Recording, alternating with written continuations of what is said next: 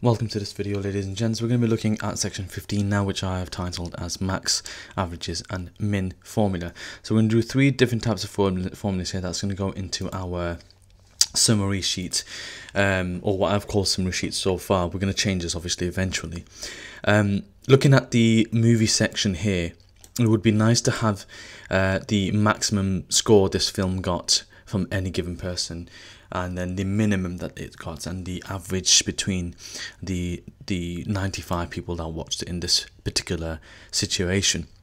So what we're going to do is because we're going to have three more we're going to go inside here right click and we're going to insert another row. And we're going to do that two more times. So there's one two and three. Okay so we've got three more extra rows there. Um, while we're at it, be nice if we have another one up here, and you'll, you'll see why we're going to do this uh, shortly. But since we're in the middle of inserting rows, be nice to have a few more in these areas here. Now, if I'm going too fast, just pause the video, go back and watch, so you can see how I've increased uh, the gaps in between each one. So I'm going to add one more here. There we go. Um, one more here. And one two three and one more here yep. There we go. Okay. Now we'll come back to these in a moment but first things first we're going to look at this. So I'm going to um, select these three and I'm going to go to home and let's put a border around it. Done. There we go. And we're going to type in max um, rating for this movie? Min rating.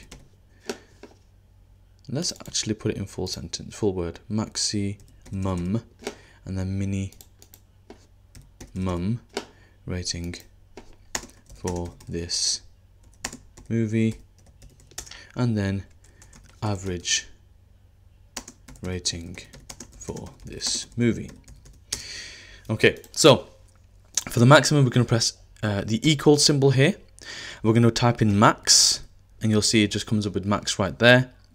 Um, know what? I'm just going to show you another way actually. Here at the top, can you see the FX, which is a function uh, button? If you click on that, we're going to type in max here, search for it, and there it is. And what this does is it gives you a little wizard just so that you can see exactly how you want to do this. So um, we're going to click on this symbol here because it says B12 to B17. That's not correct. We don't want to get the maximum value from here. We want it from our original data source, which is here, Cineworld main data. I'm using the first version, not version 2. And I'm going to find the movie rating here. Um,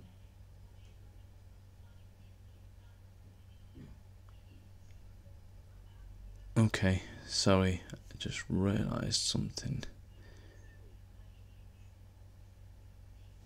Yeah, one second. So I'm just going to get the movie rating, which is that one there. Yep, I'm going to go all the way down to the bottom. Actually, just realised I'm not in the middle, so I'm going to go from the bottom here right to the top. It's important that we select every single thing.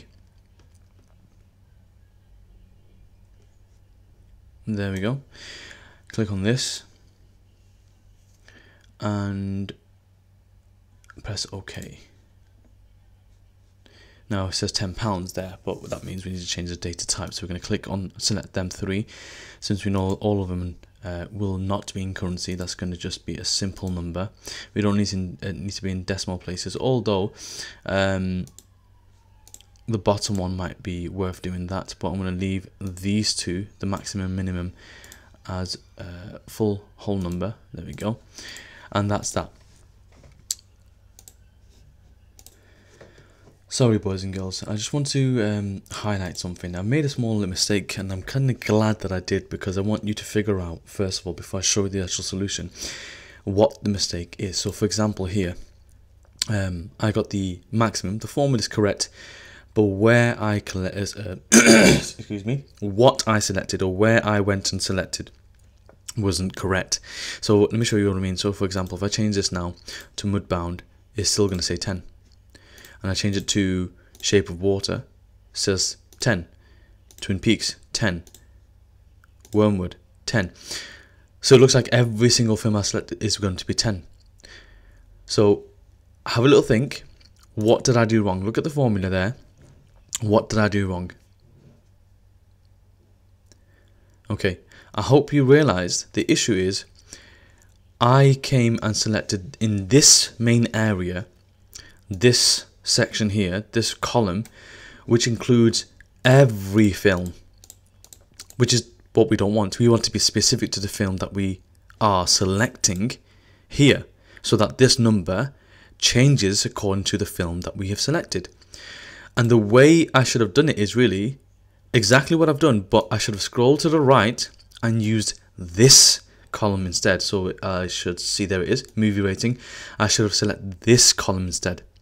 Because as we know from earlier uh, an earlier video, we made this specific to the ones that get selected. So I'm going to go back over here. I'm going to delete this um, and show you exactly what I should have done. There we go. So here, type in max, go to this button here, click go, and there it is. Press OK, and then this pops up. I'm going to go over here, go back to the same sheet, but this time I'm not going to use this side. I'm going to use this side here. So find movie rating, select the top, make sure you're at the top, going to see it says 2 here, so I know that's the top of the, the table. Go right down to the bottom, we know that this finishes at 500, so I'm going to go until I see the number no, number 500, there it goes, it says 502, 501, 500, now if I scroll to the left you'll see that is where it stops. And I'm going to click on this and press OK. Now, um, it says 10 there, let's try a different film. Hopefully, one that hasn't had that score. Now, it might be hard to see. Okay, let me do a little test. I'm going to go over here and let me just check um, if there's a film that hasn't had a 10 rating. So what's the quickest way? Let's see. Um, let's go to maybe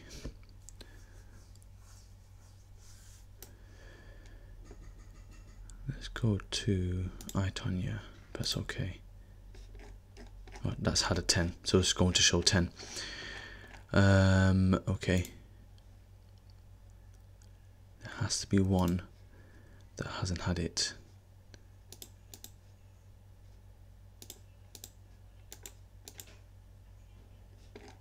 There we go. Right, so we know beach rats here. I'm going to go scroll to the top. Yep, the maximum beach rats has got is 9. So if I go over here and click on here and type, uh, look for beach rats. There it is.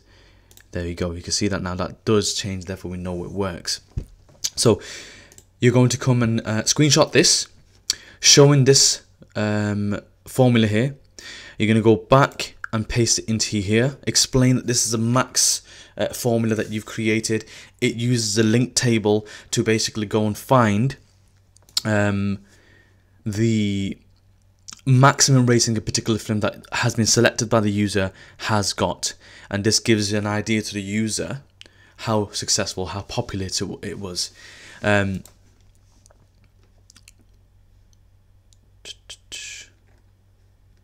just double check something.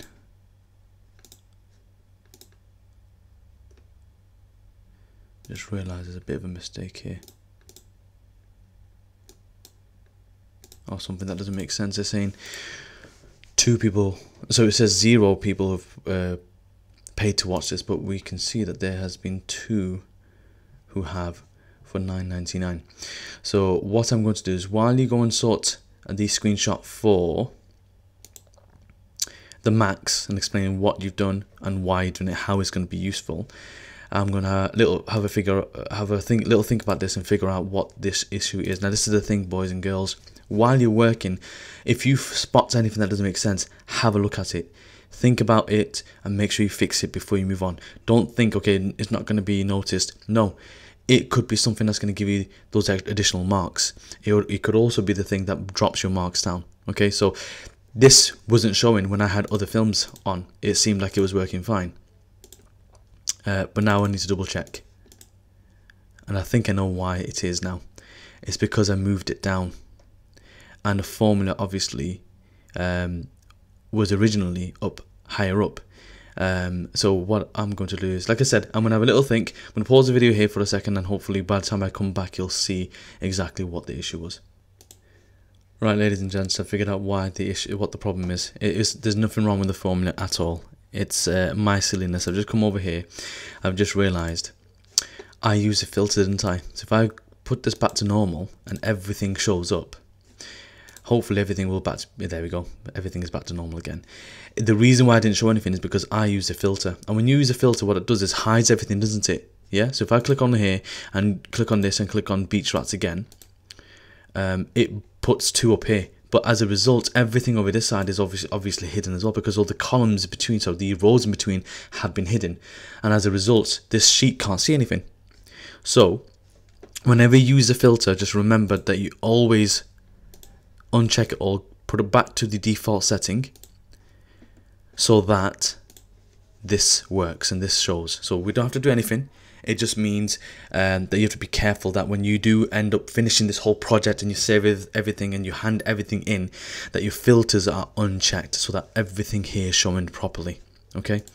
Anyway, hopefully you've done the screenshot and you've explained the maximum rating score here and why you've done it how it's going to be useful and of course you you need to obviously for those of the those of you who are aiming for the the distinction sorry can't get my words out today uh, make sure you use a comment as well to get those additional marks. Now the minimum is no different. So if you go over here it's done pretty much exactly the same. You type in min you look for it by clicking on go. There it is. You click on that you press ok. And it looks pretty much identical to the max but the difference is uh, you, we tapped in min. And what that will do is basically find the minimum score uh, amongst the uh, the uh, the the film that was uh, chosen. So I'm going to go over this side again, and again make sure that we select the uh, the movie rating here uh, on this side and go all the way down to uh, the bottom until you see the end of the table. So in this case, it's 500. Obviously, depending on what you work on, it could be higher, but in this particular one, we know it stops at 500. Once you've done that, you go here, press OK, and hopefully you'll see that changes. So you can see this particular film, I, Tonya, 47 people watched it. Out of 47, the highest it ever got is 10 out of 10. The lowest it was 6. Okay? So, and we can check this as well actually before we do a screenshot. So if we find Mud Bounty, oh, that's the same thing. Let's see, Twin.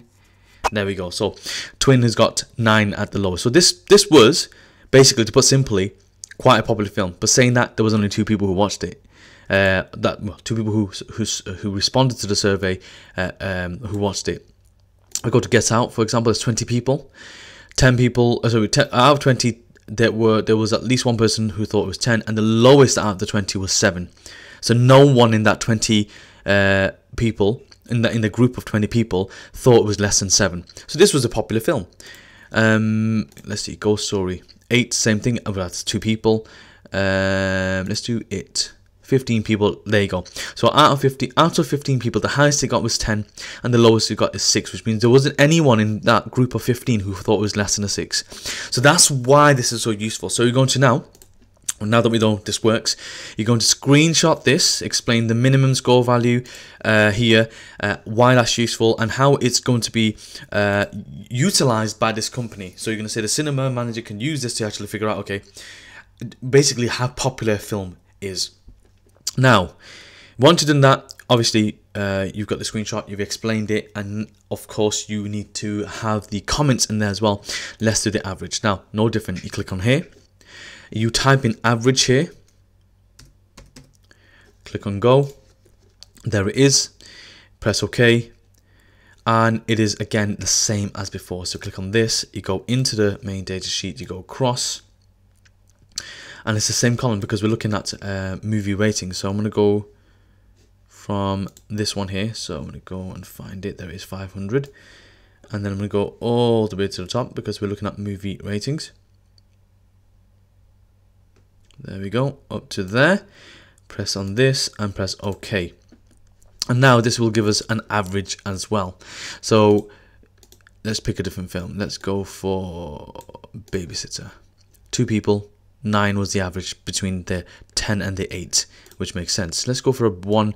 Uh, let's got um, a few more people who watched it. So last last uh, Jedi, 95 people. The lowest score was a 1. So you can see it, there was at least one person who didn't like the film. Um, and at least one person who thought it was 10. So that was quite varied. But on average, 8.5. So in general, you could still say this is actually quite a, a popular film. Okay, so you're going to screenshot this screen. Uh, this uh, formula explain this as an average that you created that shows the average rating for this film. Um, and that is obviously through a linked table as well. So it's actually working from here uh, to the cinema uh, Cineworld main data sheet Okay.